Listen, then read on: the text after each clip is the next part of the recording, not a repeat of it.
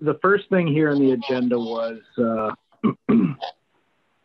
this. I think this came from the planning board, um, a- and they're calling it a resource replacement fee for solar installations. And this would this would apply to uh, systems that are going in on Chapter 61A land. Um, and I, I think they want. I don't. I don't think they're looking for a heck of a lot of guidance here from us. Only, may, maybe only just the whether we think it's a good idea. Um, and I don't know if they want to. You know, it's it's um, it's it's kind of like the community host agreement payments that the marijuana growers are contributing to the town for or the consum- perceived consumption of a resource, whether it's you know needing more police or lower property values or the smell or who knows what. But um, so anyway, that's that's what that's about. So Um, yeah, yeah. Go ahead. I, I think this is a recommendation, or this the, the the planning board is looking for some sort of buy-in from the ag committee, and this is specific to uh, agricultural land or prime land or, or land of importance.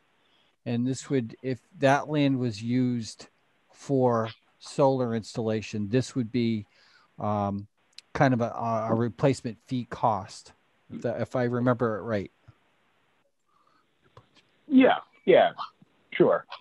And is it a one-time thing or is it a like the the marijuana fees are ongoing, right? They're a percentage of sales or something?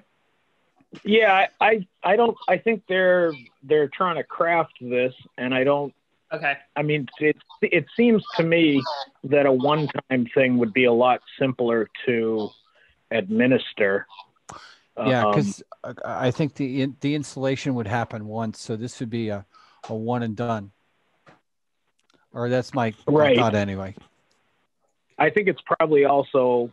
I mean, whatever. My my sense of it is that it would probably be smart to tie the fee to the number of panels in the system, and not try to tie it to production. Um, which would make it a lot easier to assess at the point of installation. hmm Um, I know the the just the pure uh, value of the electricity that one panel produces in a year is about forty five dollars, um, which doesn't take into account any of the tax credits or the uh, energy credits that that can be sold. Um, so it's you know, uh, so I I was just thinking something like two dollars a panel um, on on installation as a as a reasonable fee. But you know, certainly there's people on the planning board who will craft something sensible. I think, but I think I, I kind of endorse this. I don't think it's an unreasonable thing. It also seems like the money should be kind of earmarked in a way, if possible, for uh, for APR. Mm. Exactly. That may that may not be possible. I don't. Yeah, yeah, maybe something broader like open space or God knows who or God knows what. Yeah. So, Right, right. all right. Any other discussion on this topic? I don't I don't see why we wouldn't um at least start off by suggesting that it be earmarked for farmland preservation Okay. open space if it's if it's not if they're not assessing it for example on forest land where somebody puts a solar facility which i know isn't very likely in whately but does happen in other towns Yeah, yeah. We we could suggest it, and they could. Somebody could say you can't do that, and Right. but yeah and then Let them say no, right? yeah, Yeah. exactly. Okay. Any other comments on that? Not for me. Okay, so just to review, the the AgCom would recommend uh, would recommend or would um, support the fees And per panel is recommend. Yeah, endorse. Thank you. That's the one word on. Endorse. And that we recommend, a, a, a, as an example, two dollars a, panel fee, and also recommend that the fees be used for APR. Right? Yeah, I um Why not? Let's shoot I for the moon. I don't even I don't even think I'd put in the two dollar per panel Okay. fee at installation. Let that, yeah. Personally, I mean, Whatever. Okay. I think I think we're you know I think what we're more being asked is just to kind of endorse the idea that there Yep. there Don't push- a replace. Don't push your luck. Yeah. Okay. Any other thoughts on that? Okay. My only other thought is that it it is it would be infinitesimal in the cost of a big solar installation. Like that that's a negligible fee. Yeah. Uh, two dollars, I would say, is is it. You know, I mean, our system on Route Five is twenty three hundred panels.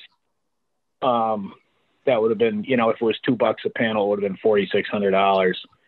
I mean, that that system was, you know, just under two million dollars to install. So, Wow. so it, we're not talking about much. I got I got you. All right. yeah. All right. That's the way I'm gonna frame the minutes on that. Now, Doug, Um, do you do you want to I- respond to the planning board? Go ahead. Yes, Margaret. Forward head on, Even though that's not why I'm here. Oh, I'm sorry, Sarah. I thought you were Margaret. Go ahead. Um, part of it is, if I remember, this was a couple months ago with us. Part of it is to help the incentive for uh, removal when it comes to removal, having this fund in place. So, because we were originally sold on it, saying, "Oh yeah, the cost of um, recycling the panels will more than cover the cost of removing it." That's not true. We were very misled. Right. So this is to help that. Okay. So is it Sarah to create a town fund? Because I thought the in theory isn't the developer responsible for removal and disposal, but this the idea is to create a fund in case they do not come through. You got it to protect Okay. us. Okay. Well, that is not farmland protection, but it does seem like a good idea. Uh, okay. See, I thought this was for the replacement for a loss of a resource, but okay, whatever. Maybe, again, this was a couple months ago. Yeah, I- you know, I think we still uh, endorse it. That's the word I'm hunting for. It's protection for the town. And you guys, this very much involves taking, to some extent, valid farmland out of farm use because they really haven't found ways to get a productive crop underneath solar panels yet. Right. Okay. I had an awful lot of talk about it. Yeah, yeah, there has been a lot of talk. Plants Well- need sun. Well, Sarah, thank you for that clarification. Sorry for butting in. No, no, no, that's fine. Um, okay. Uh, any more discussion on that, or should, should we move on to the next topic?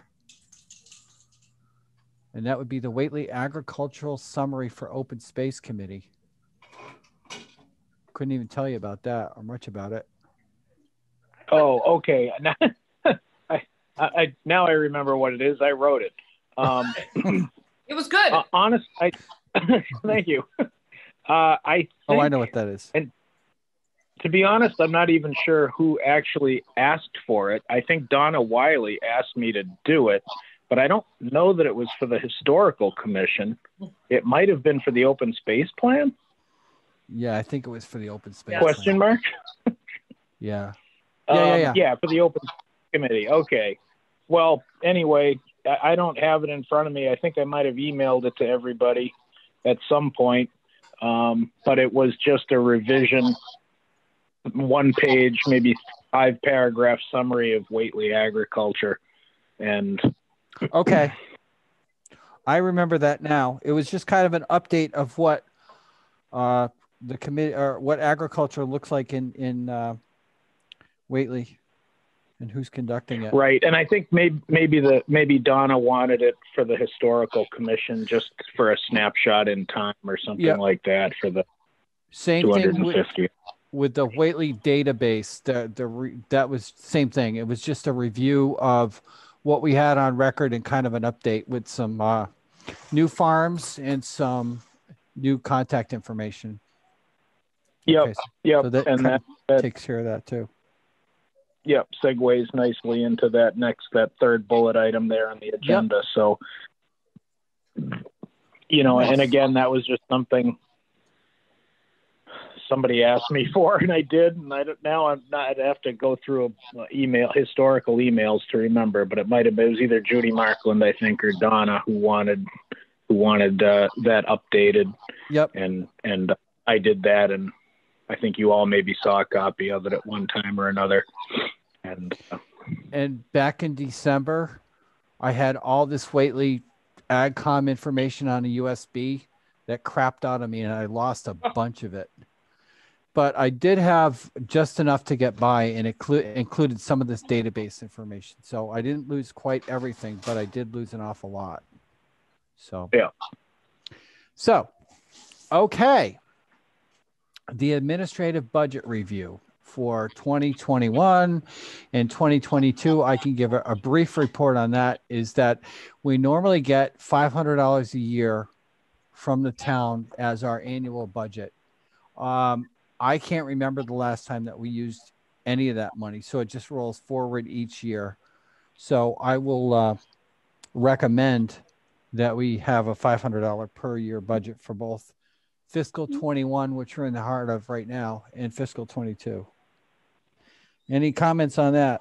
Anybody have anything that they want to spend money on that sh- where we should increase our budget? Um, not uh, not necessarily increasing our budget. My memory was that it was fifteen hundred. I thought it had But gone maybe to that- too, I thought, it, all right, but I also thought we never spent it. So okay, I Well, thought it went up The only to. time, Go ahead. oh, I was gonna say I. I, I mean, uh, the- I mean, one thought I'm having is that maybe, maybe several years of of uh, unused five hundred dollar budgets had turned into fifteen hundred, and I thought it. We just returned it to the general fund in general. budgets. Hang on, let me I, look I, at, the, and the only, t- I think we assisted with some pr- printing costs for some posters and pamphlets, maybe yeah, Yes. for the schools, you know. But that's the only time I ever remember us Right. spending any money. I think it, I feel like my memory, which could be wrong, is that our budget went up from 500 to $1,500 aha, for printing, Mhm. either the year we did the map or the year that we did, as Doug, you're remembering those posters about Whately agriculture. And that then once we were at 1500, they just kept asking us every year, do you want 1500 again? And we would say yes. you've got it. Uh, That's exactly right, Margaret. I was, insert, I stand corrected. It's fifteen hundred dollars. Go ahead. I'm sorry, Jim. Go ahead. we put an insert in the, the scoop there. Oh, yes, We- we right.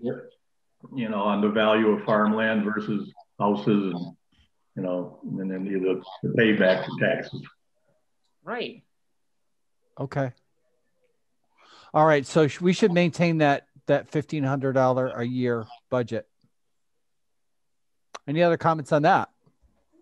Uh, I know I, maybe it, I, uh, Margaret and I maybe were the only ones who communicated about it, but uh, uh, our, recently a real a real good guy, good farm worker, good farmer in town, uh, a guy named Fabustino who worked at Chang's died in a in a truck crash in uh, in Belmont, and I, I I would support if it's an appropriate use of the money um, making a contribution.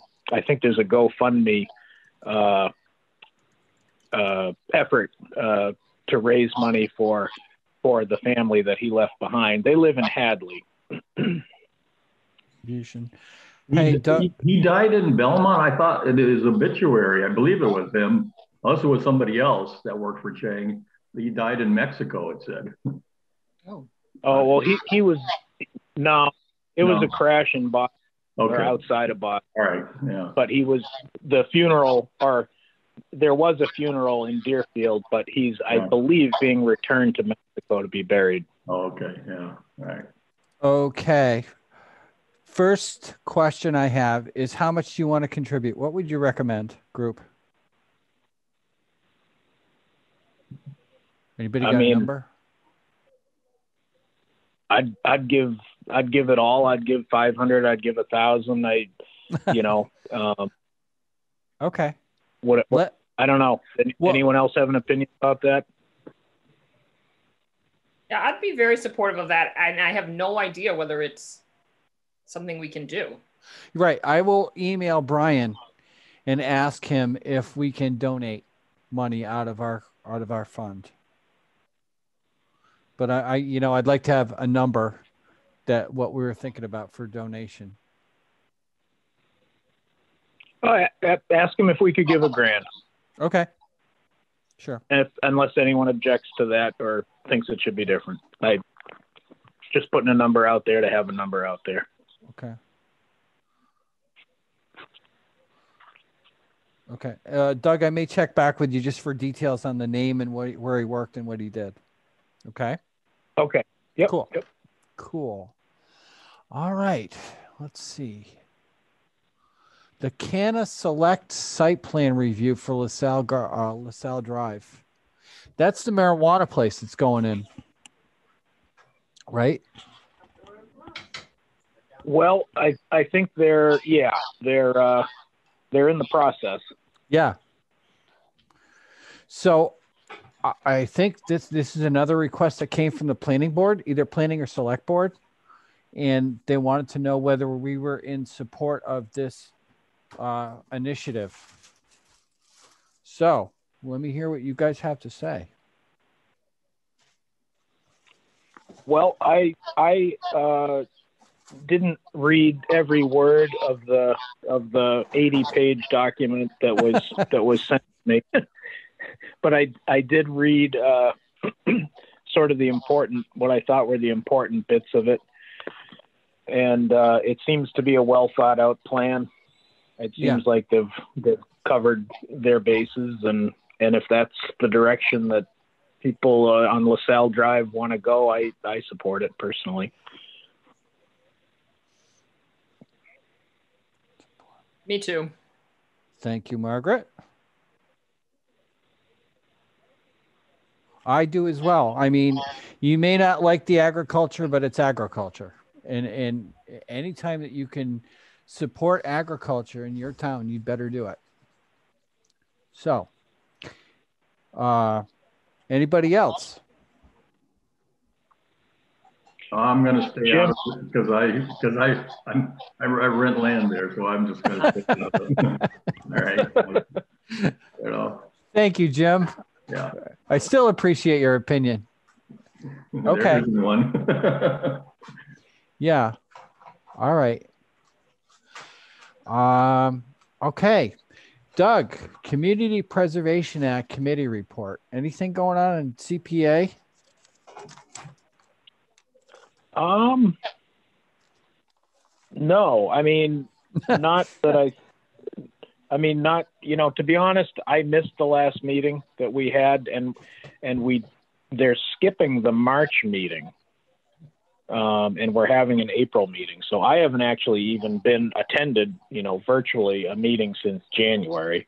Okay. Um, so other than these things that uh, have kind of been brought brought to uh, the attention, uh, Because to usually they, attention already. they have a sign up that starts or that fi- that ends in Jan- in December for projects looking for funding to be approved or to be uh, presented at the town meeting in April.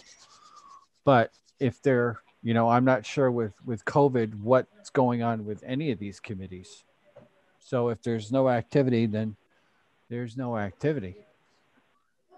Oh, Yeah, I mean, so yeah, to, to, you know, to to be honest, I I don't. Uh, I'm pretty peripheral to the uh, the function of that committee, and yeah. and uh, I Okay. I know exactly how you feel. Yeah. I we do. didn't submit any APRs this year, so we Yeah. we had less reason to be exactly. uh, for you stalwart representatives to. Which is a marvelous segue, Margaret, to APR. The APR update is that the um, Fran Sobieski's APR is going forward. It had to be reappraised, which seems to always be Oh. the case. Uh, but the reappraisal did not change the values, which is great because it means the numbers don't change. So I think that's, you know, they're at the stage of getting the town to fill out all the paperwork, and I think that's going to close. The Ashmans, after their barn was wrecked, um, put their APR on pause. Okay. So I don't know, Doug, whether you know any more about what their thinking is, but that one is, it's not ended, but it's not going forward at the moment. Patty's got the Right, smoke yeah. detectors going off at my house. Go ahead. You can mute yourself, John. I can. yes, I certainly can and will. Once I figure out how to do that. Bottom left. No, your, Bottom left. your smoke detectors sound a lot like our smoke detectors. Um, I, I think what's going on there is that they, well, I I know one issue is that they, you know, they lost the barn and they're unsure what, where, and what they want to do to replace that storage space. Um, and I and the other thing I suspect, um, only in talking to to Larry's brother, is that they're they're keenly aware of what how in demand building lots are, and uh, and I think they're a little bit unhappy with the way that land blows across the street. Mm, Um, and I think they're wondering if, in fact, it is good farmland or there shouldn't be a house or two there. So um, I suspect once, I think what will happen is that once they uh, decide if they want to put a barn back up, um, and whether wh- you know where on that corner it's going to be, um, then they'll they'll probably reconsider uh, going forward with it and that's that's all pretty unofficial. I mean, that really is just uh, you know people standing in a loading dock talking. It's you know.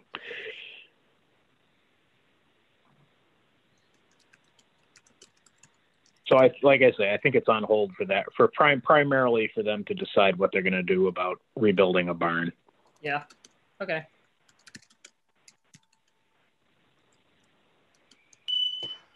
Okay. Sarah Cooper, here's your opportunity. Other business. John, you know if, if you uh, if you open the doors and windows, that might stop. We've done that already.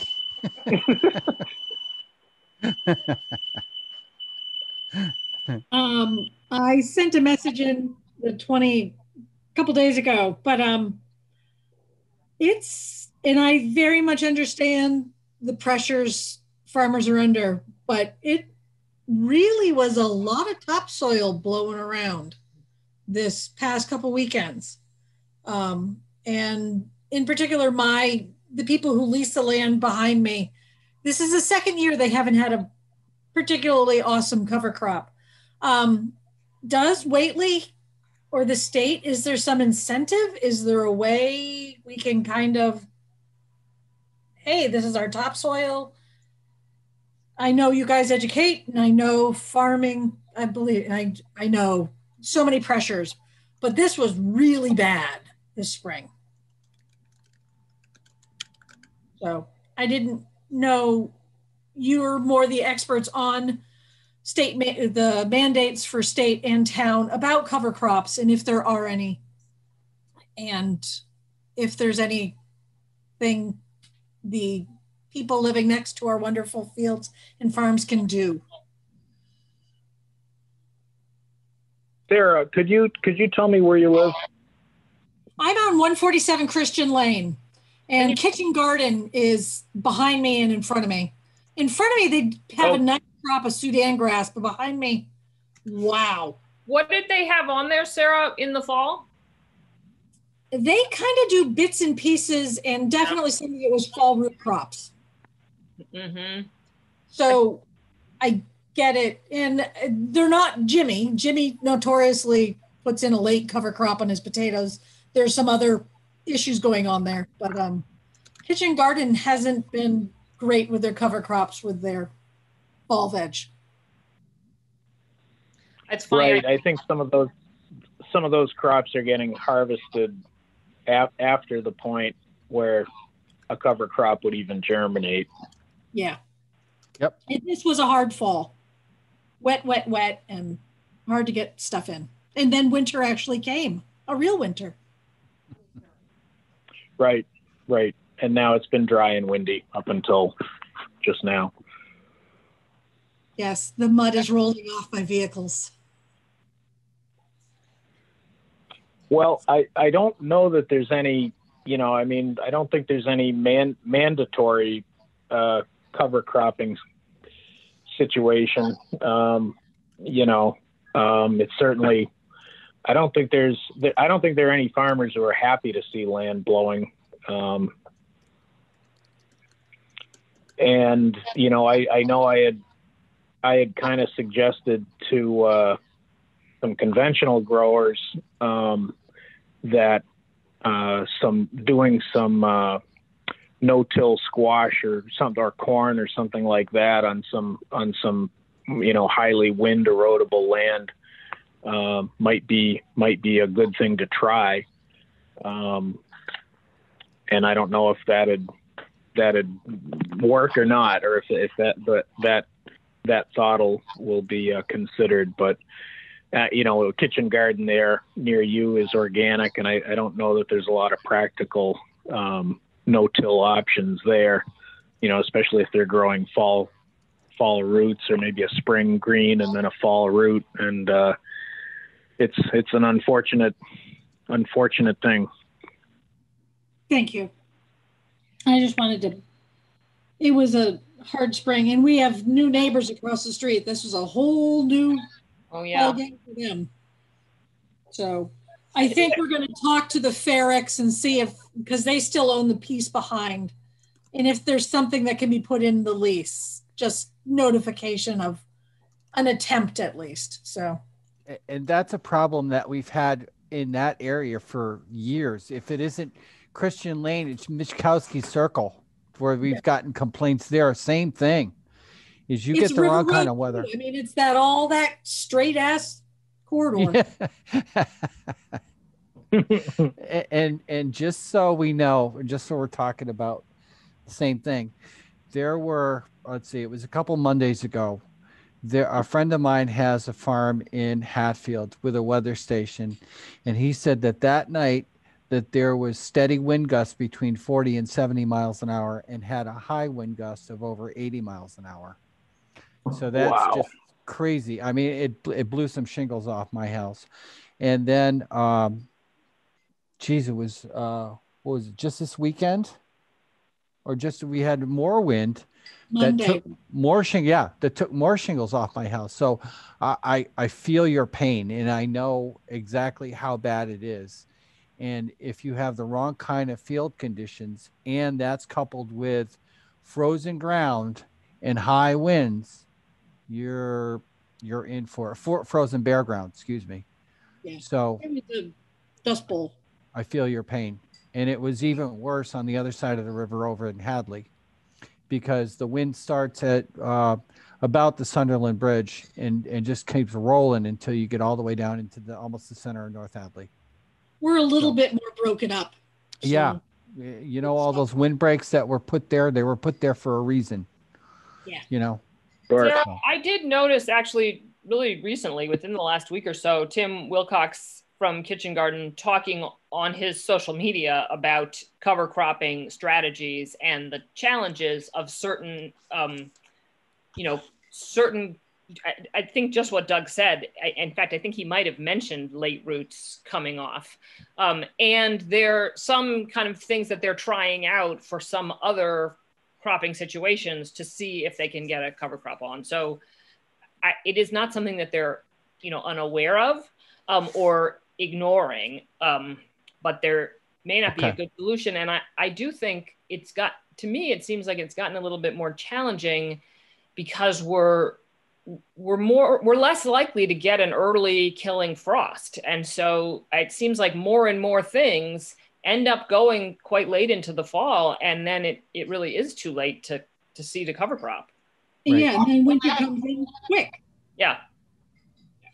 I very thank you, Margaret. I feel good to hear he's really talking about it. And I mean, we saw the Sudan grass right across the street from us, and that was an interesting crop to see in, and it really kept things down. It'll be interesting how they break that up this spring, but that'll That's entertain me while I'm at home working. That's encouraging. At least he's got the the right intentions. You know, things didn't go his way or anybody else's this fall. If you if you were trying to sow late cover crop, but Okay. point taken. Thank you guys very much for listening. Thank you for bringing it to Thanks the for coming, Sarah. Thank you. Take care, all of you. Bye. Good night, Thank you. Sarah. See, I thought she was going to talk about the Whately 250th. Oops, I should have let her go Oh. first. I'm I know. I wonder if we should try to make it a practice to add. It always feels a little challenging to say to somebody, "Why are you here?" Yeah, I But know. then we could put them at the front of the agenda. I know that was probably what I should have done, but Well, hindsight. shoulda, coulda, woulda. So Oh well. I have Uh, one other agenda item.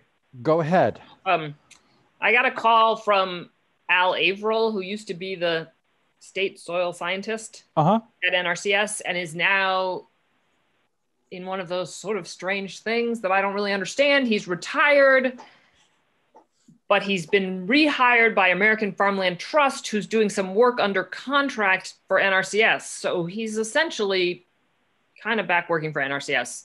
Um, Yeah, he's doing doing the same thing he retired from. Right, that's what it seems like, and he's getting a government email, but ne- and none of that is that's all neither here nor there. The project that he's working on is this, or among them, is a project to identify what they're calling soils of local importance, which are soils that are not prime, they're not soils of state importance, but they might have been in active agricultural use and be considered important, you know, to a particular business or in a particular town and they feel like if those soils get designated a soil of local importance, that is something that could be used if that landowner wanted to preserve that land. So you could try to make a case to the APR program that it's true, this is not prime soil, but it's soil of local importance. And so, um, you know, they ought to allow, they ought to approve it for APR.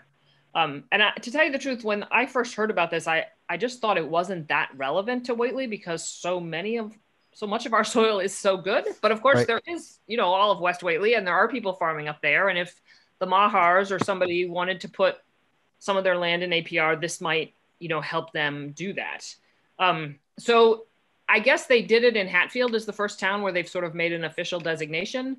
Um, and Al felt that since Whately's, you know, next to Hatfield, it might make sense to just sort of keep moving up the river. Um, so what if we are interested in supporting this? He's identified, he's looked at the soil maps and identified parcels that he thinks might meet this designation. And he needs some local knowledge to say, you know, is that, is somebody farming there? Does it seem like land that might, you know, that might be worth preserving if the landowner was interested? And then there's a sort of a process to get the sat time, this town to sign off on it officially. So I wanted to know what you all think. I'm willing to work on it if it's something we want to go forward with, but I, I would probably need somebody else. I mean, I looked at the maps and I could identify some of the places and knew what was going on there, but some of them I don't know anything about. I'll help you out. Okay. I'd love to work with that. Yep. Sounds worthwhile. Okay, great. Got it. Anything else? Uh, I do have one thing um, that uh, I was asked to bring to everyone's attention. Um, and and let's see, this is. I, I uh, so again, Donna Wiley asked me to to bring this to everybody's attention. This is, I. it's it's called the Franklin County Farm and Food System Project, and this is something I think was put together in maybe 2015. I I believe I emailed it to everybody. I don't know if anyone looked at it or is familiar with it. I don't know about that, and I'm embarrassed if you emailed it to me. Well, I'm almost certain I did. It was a very long document. I think I just emailed pages six and seven, which are a summary. Here's here's you know, so this was uh, this was I'll just read a, a paragraph here. It, inspired in part by Food Solution New England's 50 by 60 vision, in which New England produces 50% of its food by 2060, our research found that there would need to be substantial shifts in what Franklin County farmers grow, and their the and that their production would need to at least double in order to support this vision. Um, there would need to be 40,000 additional acres of land devoted to farming in Franklin County by 2060, um, some of which might be developed by bringing recently idle farmland back into production and by prioritizing uh, developing land for farming on prime farmland soils. So, this is something I guess FRCOG put together at some point. And what all we're really being asked is not to be familiar with this whole document, but um, th- the question is are there specific barriers to increasing ag production in Whately? Like, what are the barriers to growing product to increasing production in Whately? And is there anything town specific? Personally, I think this vision is a little I mean, it's you know, it what what a great goal, or maybe it's a good goal to work towards. I think it's a little bit unrealistic. Yeah. Aspirational. Um, I'm sorry. Say that again. I said aspirational. Aspirational. That's the word. yeah, that's a good Um, word. I don't know where forty thousand additional acres of farmland are going to come you know, in in Franklin County, um, unless we unless we annex Hampshire County or something. But um, so you know this uh, this this document, you know, suggested that a way to increase farmland would be, you know, essentially to push Honey, push you leave a door open? back. Okay. Oops, sorry. so I guess what what Donna was looking for was was what do we feel like are the barriers to increasing the acres of land that are being farmed in Whately? And and my feeling about it is kind of, you know, overall that that production costs are too great to take chances on marginal lands. Um, uh, you know, and I, I, I don't know that we're going to find a whole lot of extra farmland by pushing field edges back and and uh, and all that. But I don't know. Does anyone else else have any thoughts on that? I do. Forty thousand acres is is uh, aspirational. That's a good word. I like that. Uh, I, I think we're we're heading to the limits right now. Just throwing on my USDA hat, is I can tell you that there's such a demand for land that marginal land that had not been in production for years is being considered to bring bring back into production, and that's where we're running into some compliance issues. So, uh, the, the the demand for farmland right here in the Connecticut River Valley is very high, whether that's prime land or some of the marginal land that hadn't been used before. Okay. Yeah, I was going to say something that's I think sort of the flip. You know, it's the other side of the coin of what you said, Doug, which is you know, we don't pay enough for food. If we paid more for food, you know, people might find ways to at least do some things a little bit more intensively or to figure out ways to to use marginal land. But if you're not going to you know make a profit on it you don't do it. And uh, which i think is the other side of the production costs are too high and they're not you know they're not reliably covered necessarily by you know the price that you can get um, particularly for something you know a crop that's marginal or land that's marginal. And I, sure. Yeah I don't know how we fix that at the local level. Jim, how about you? Well, same thing. It's just there's not enough land. Period. It's a struggle. Yeah, yeah, and it's going to be less too with the development that's going on. Yeah. Uh, you know, I mean, we are as a town, we, we can probably supply sixty percent but what about Springfield, you know, or Greenfield or something? You know, there's not, you know, are we going to start tearing down houses or paying more than for building lots to buy an acre of land now? So, yeah, that's that's the that's the question. Okay. Yeah. I mean, it, it's a noble goal, but how attainable? I'm not quite sure about that. But it does sound like, you know, th- this is a this is not a new thing to say, but you know, it does sound like one thing that could, you know, be conveyed to to Donna and the committees that she's on, and to the open the, the people thinking about open space at the FRCOG is, you know, that farmland preserve. We can't make more land, but if we can keep more of it in agriculture, you know, then we're at least able to more able to maintain production at the level it's at now, even if we can't bring it up to the level that we're feeding New England, you know, at 60%. Sure. A lot of it, a lot of it is just uh, looking towards the future, you know, planning for the future. And I seem it's hard to do that. You know, people don't think that way. you know, that's that's the biggest problem. You know.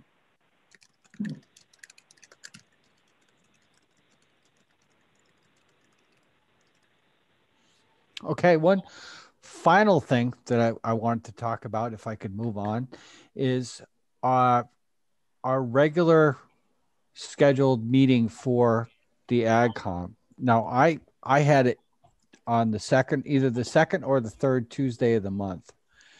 Uh, I know we don't have a full group here tonight, but do you guys have an opinion on whether whether we keep it at Tuesday and, and if Tuesday, the second Tuesday or the third Tuesday or any other dates? Uh, any, you know, either is fine with me. Okay. Tuesday appears to be a pretty good day. Yeah. So, and I know the third Tuesday, there was a problem getting uh, a, a Zoom schedule because it's already been used. So probably the second Tuesday would be the one. Okay. Second Tuesday. And that's a conflict for you sometimes, Margaret? That is sometimes a conflict for me. Yeah. Because uh, I've been doing some work with PVGA and I've been going to their meetings, which are often on the second Tuesday. But I can, um, I, you know, I don't have to do that forever. So I might miss yeah. a meeting uh, here and there, but um, okay. Okay. And I mean, this was an important meeting to have this this month, but do we need to hold these every me- every month? I'm not sure. So we certainly haven't. We've seemed to get by for the last year without having one, haven't we? yeah, somehow we manage. So um, I am curious right. how you all. I mean, maybe this. Maybe we should adjourn the meeting. But I'm. I am curious about how you all are and what the season, you know, looks like from this vantage point, as far as demand or anything else. I'm interested in whether you all have heard from the um, community health clinic of Franklin County, whether there's vaccinations on your horizon?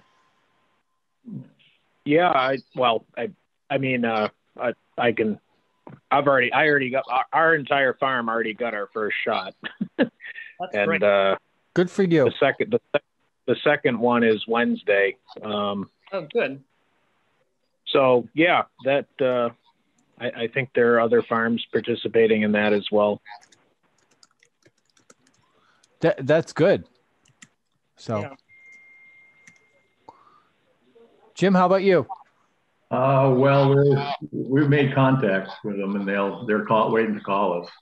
Yeah. And We're, we're not really that high priority, you know, we're not working close together, it's just family right now, so. Yeah. And then, um, so it's, I'm not in a rig rush, you know. You know, so, So, uh, you know, it looks like spring is coming. Maybe not tonight, but spring Yeah. is is headed our way. there's not much frost left, I know that much. Yeah. So, we're kind of in mud season right now. So, how's the outlook for this spring? So far, so good. Yeah, I, I think so. I know we're gonna we're gonna trim back uh, some of the field crops that we're doing. Um, just the, uh, you know, again, it it kind of is the the the cost of production are just for us. It's the cost of production are just too high to take a chance on Yeah. on land we can't irrigate or uh, um, you know crops that are susceptible to diseases we can't control reliably or rotate Yeah. away from. Um, It's risky. so yeah, yeah, yeah, yeah. So, okay. On a personal note, at the beginning of February, I had kind of a disagreement with my garage door, and I had uh, a ruptured bicep tendon.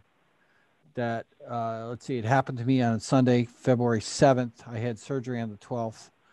Um, I've been in physical therapy for the last three weeks. I'm going to be doing that for the next oh two months, and uh, it's a slow recovery, but I'm coming along. It's one of those things where it was an accident that happened so fast I can't tell you, but you know, I'm trying to I'm trying to think of the name of that that uh, company in Hadley that services and installs overhead doors. Devine. Yes, Oh, that's correct. Oh, yeah, that's that's That's the one. That's the one. And you know, after I hurt my arm, they sent a technician over and he had the garage door fixed in 20 minutes. Oh, yeah. so that's kind of a, a kick in the pants. So, but I'm sorry. It's good good to hear you're on the mend. live and learn. Yeah, I'm doing fine. I'll be good. So, all right. Is there anything else? Um, John, do you want me to reply to, to I mean, to Donna Wiley uh, specifically about our thoughts about the, lo, you know, low wholesale prices for food and high production costs being a limit in that where Yes. the committee is aware of? Okay, I'll, I'll Yes, just shoot please. her a quickie right then. Okay. Okay. Yep. Sounds good. All right, everyone. Good meeting. It's been Nice a to while. right. Well. Um, Well- so, it, re, I mean, should, do we really, should we, how should we handle the next meeting? I mean, it seems like if something comes up, maybe we should kind of get in touch and, and schedule a meeting. Um, but maybe we don't really need to have next month's meeting planned. Yeah, normally we have, well, in a normal year, we would have a meeting in April and then a final meeting in May. But if there's Yeah. no if there's no APRs, if there's no CPA topics, um, I don't think that we need to present anything at the town meeting. So Right. you know, and, and if you guys have anything where we do need a meeting, or we have a complaint like Sarah Cooper, uh, then we'll have a meeting. So, uh, so let's see. Do you want to schedule one for April? Let me look at my calendar here. April the second Tuesday in April is April thirteenth.